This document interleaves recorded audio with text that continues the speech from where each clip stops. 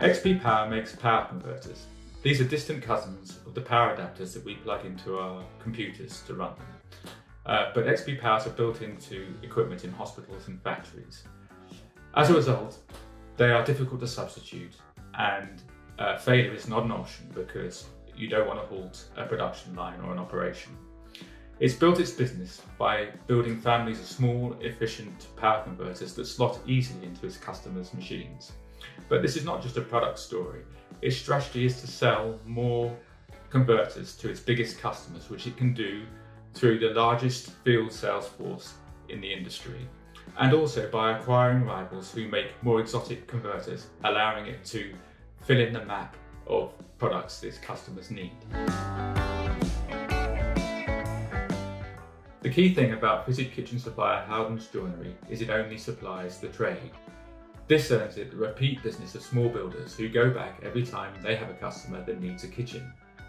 This has been a phenomenal success story over the last 25 years, and Howdens has 30% of the UK fitted kitchen market. The challenge for the future is what happens next. The UK is gradually filling up with depots, but there's an experiment going over going on overseas in France.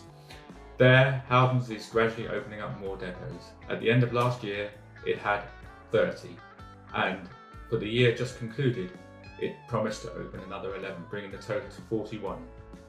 The future, it seems, lies there. Quartix makes vehicle tracking systems. These are simple devices installed in vans to to monitor where they are and to check they're being driven safely and efficiently. Um, the beauty of Quartix system is its simplicity. Uh, the devices can be self-installed by fleet owners. Uh, the software can be configured by the uh, fleet owners too by themselves. Um, so it can be supplied to small and medium-sized businesses, which is the main market, uh, at low costs on simple contracts, which heartwarmingly um, customers tend to just roll over and pay as they go when they expire.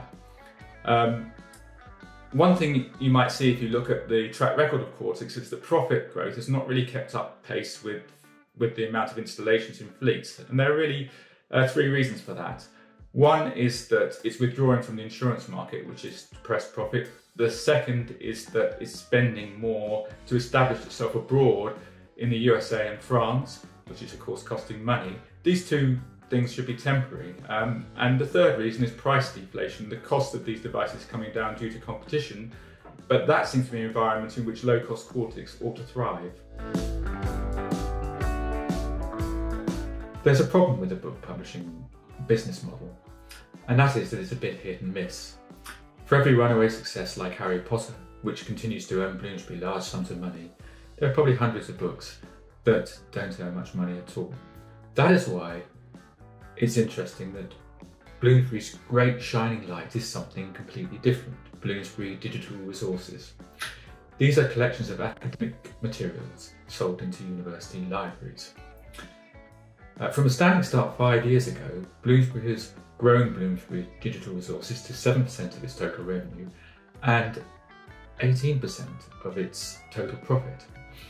Uh, I think there may be two reasons for this.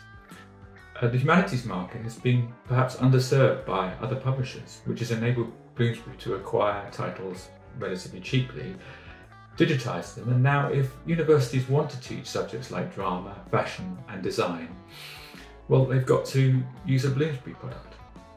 So I'm for the Great Shining Light too.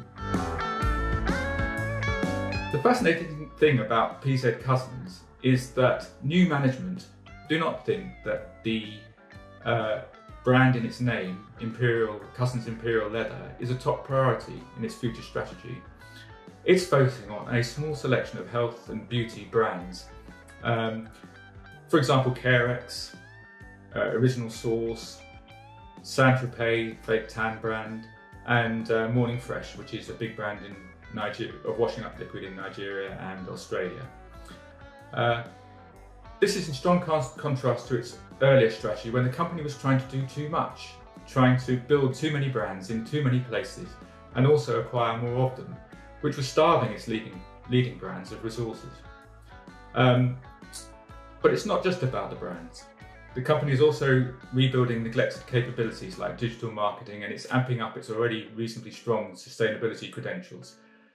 So its hands are still full, but uh, PZ Cussons is making hard decisions, and that's what we really want to see in a company that's trying to improve itself.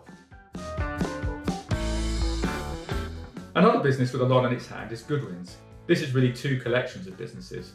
One division is uh, cast and machined steel into giant components, and this has been struggling for many years since the uh, oil price crash because uh, lots of its most profitable products were things like check valves for oil pipelines. The other business uh, quarries and processes minerals, um, which are used in a wide, also used in a wide variety of industries.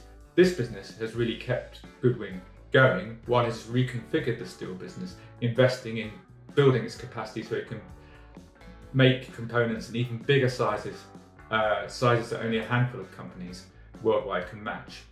To return to its former glory, it needs to capitalise on that investment which it appears to have done by securing contracts to supply uh, spent nuclear, uh, supply containers for transporting spent nuclear fuel and um, for making components for nuclear submarines.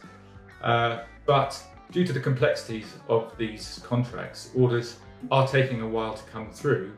Um, but I think patience is key to this investment.